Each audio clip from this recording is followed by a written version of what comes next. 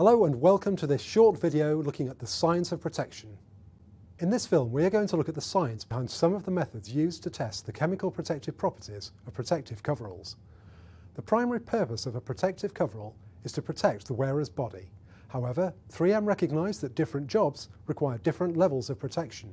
This is why the range of 3M protective coveralls is diverse and designed to provide options for your application and purpose. In terms of personal protective equipment, body protection normally refers to protecting the skin from the harmful effects of chemicals, either liquids or solids. This film focuses on protection from liquid chemicals. First, we will look at the three types of coverall generally available for protection against different levels of liquid chemical hazards. Of the six types of chemical protective clothing, three are specific to liquid chemicals and are referred to as Type 6, Type 4 and Type 3. In each case, the fabric is tested for various physical properties and chemical properties. The full suits are also subjected to different tests depending on the type of protection they are intended to offer. Type 6 chemical protective clothing is intended to provide limited protective performance against light splashes of liquid chemicals. Type 6 coveralls are tested in a number of ways, including undergoing a limited liquid spray test. Type 4 clothing intends to provide a higher level of protection than Type 6 by having spray-tight fabric and seams. Type 4 coveralls are subjected to similar tests to Type 6, but in the full suit tests, a larger volume of liquid is sprayed onto them. Type 3 clothing is intended to provide an even higher level of protection than Type 4 by having liquid-tight connections between different parts of the clothing. In the Type 3 full suit tests, a powerful jet of liquid is sprayed at several points of the coverall to test for leakage. The full suit tests use a water-based liquid to assess the overall performance of the fabric and the construction of the finished coverall. These tests look for any inward leakage either through the fabric or through the seams or zipper. However, the coverall is also subjected to more specific chemical tests depending on the type of protection it is intended to offer.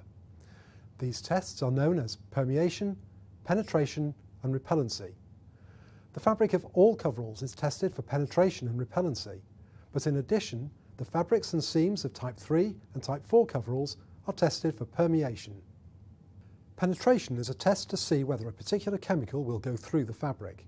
Repellency is a test to see whether the chemical being tested stays on the fabric or rolls off. Together, the penetration and repellency tests are often known as a gutter test because of the equipment that is used. The test method is described in EN ISO 6530. Penetration and repellency are normally carried out at the same time. In this test, the fabric being tested is weighed and placed in a semicircular gutter at an angle of 45 degrees on top of an absorbent piece of fabric, which is itself placed on top of a piece of film. A beaker for collecting any chemical repelled off the fabric is weighed and placed at the end of the gutter. 10 cubic centimetres of the challenge chemical is then delivered onto the fabric from a height of 100 millimetres within 10 seconds using a syringe. After 60 seconds, the levels of any penetration and repellency are measured. Penetration is measured by deducting the weight of the absorbent fabric and film after the test from their original weight. The result will be zero if there has been no penetration. Repellency is measured by deducting the weight of the empty beaker at the start of the test from the weight of the beaker at the end of the test.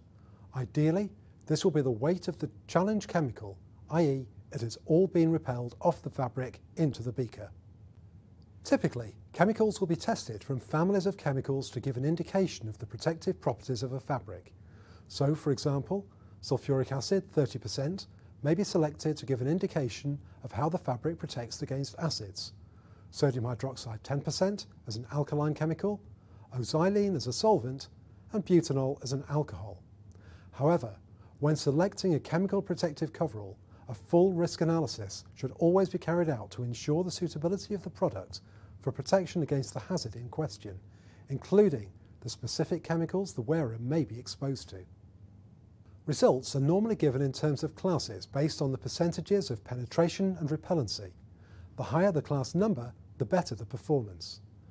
The classification system in EN 14325, the European standard which sets out the test methods and performance classification of chemical protective clothing, has three classes for penetration and three for repellency. Permeation is the process by which a chemical moves through a material on a molecular level. This is different to penetration, which could be described as the process by which a chemical moves through a material on a non-molecular level. To explain it more simply, permeation of a chemical through a fabric cannot normally be seen, whereas penetration through a fabric may be visible to the naked eye. Permeation testing is required for all type 3 or type 4 coveralls because of the greater risk of being exposed to harmful chemicals, either in a larger volume than a type 6 splash or for a longer time period. This test can take up to 8 hours, depending on whether there is any permeation, and may therefore be more suited to situations where a coverall is not replaced at the first sign of contamination. Usually both the fabric and seams are tested for permeation. This is why the seams on a Type 3 or Type 4 coverall are normally covered with a special, special chemical resistant tape. If the seams were not taped, it is most probable that any chemical would leak straight through, irrespective of how resistant the fabric may be to permeation. The test method for permeation is described in EN ISO 6529. A sample of fabric is clamped between two permeation cells, normally made of glass. The challenge chemical is added to one of these cells such that it is in contact with the outermost face of the fabric, that is, the side of the fabric that is at risk of being splashed or sprayed. On the other side of the fabric, the inner side, is a cell which contains a collection medium. Throughout the test, the side with the collection medium is analysed to detect any permeation. The test is ended when the rate of permeation or breakthrough is detected at a certain level. This level is normally either when permeation is at a rate of 1 microgram per square centimetre per minute or 0.1 micrograms per square centimetre per minute.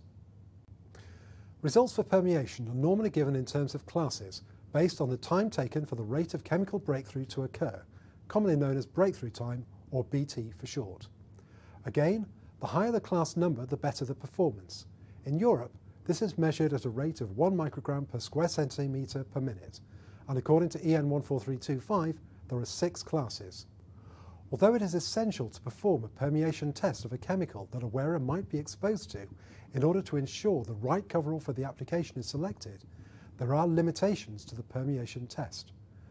Many of these limitations apply to most of the tests carried out on chemical protective clothing and include a limited number of samples are tested.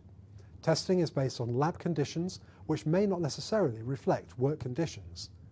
Permeation rates increase with temperature. Fabric may show variation. Permeation testing does not assess degradation. And breakthrough times are not safe wear times. 3M has tested our fabrics against a large bank of chemicals.